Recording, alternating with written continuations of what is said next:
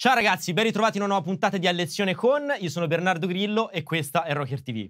Oggi parliamo di velocità con il doppio pedale e quindi per parlare di velocità ovviamente parliamo di coordinazione. Pensavate che per andare veloci con il doppio pedale servisse soltanto i tendini eh, tirati a 2000, no, non è soltanto quello, anche se è una parte, ammettiamolo. Senza coordinazione non otterremo mai velocità. Quindi oggi un esercizio per costruire queste fondamenta, costruire questa coordinazione e farlo anche per utilizzare il doppio pedale sul nostro drum set, quindi sulla batteria, sia come lanci che come orchestrazioni varie che possiamo fare per arrangiare i nostri brani. Secondo me la parte fondamentale per costruire la coordinazione è suonare degli unisoni tra mani e piedi e lo faremo adesso, lo farò con un esempio, cambiando vari tipi di sticking con le mani e andando a suonare sempre un tappeto di doppio pedale in sedicesimi con i piedi. Quindi l'esempio di oggi, e poi vi faccio vedere nello specifico di che cosa si tratta, suona più o meno in questo modo.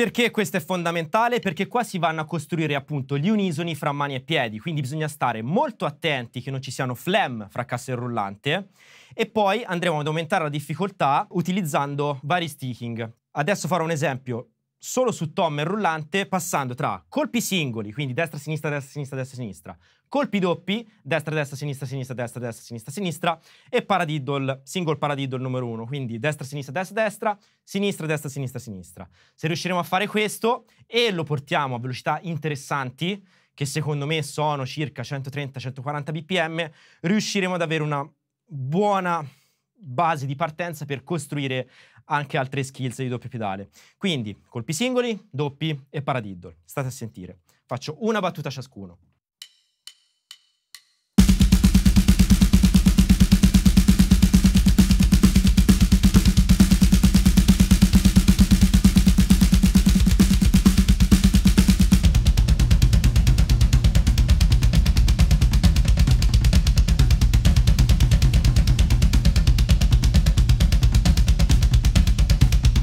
Ultimo suggerimento di oggi, mentre fate questo, che è un esercizio a sé, cioè che è già un esercizio, potete anche utilizzare questi stessi sticking per costruire groove sulla batteria. Quindi ripetiamo lo stesso esempio e cercherò di costruire un groove utilizzando questi sticking, che sarà anche uno stimolo per la nostra fantasia, per le nostre composizioni sulla batteria.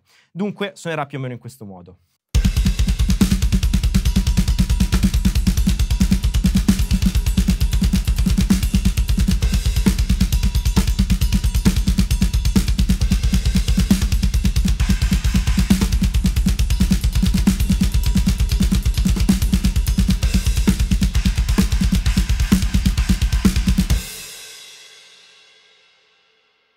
Quindi avete capito? Si passa sempre da sticking a sticking, non ci fermiamo mai e quindi faremo stamina, faremo resistenza con il doppio pedale, nello stesso tempo costruiremo la coordinazione necessaria e questi sono i due fondamenti, le due colonne portanti per poi portare in velocità i nostri piedi, di conseguenza quindi allineati al, al lavoro che facciamo con gli arti superiori.